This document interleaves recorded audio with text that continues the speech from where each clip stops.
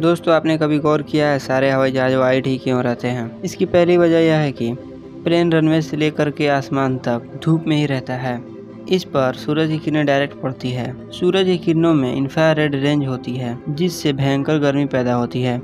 ऐसे में सफ़ेद रंग प्लेन को गर्म होने से बचाता है। व्हाइट रंग बहुत ही अच्छा रिफ्लेक्टर होता है। यह सूर्य की किरणों को 90 परसेंट तक रिफ्लेक्ट कर देता है।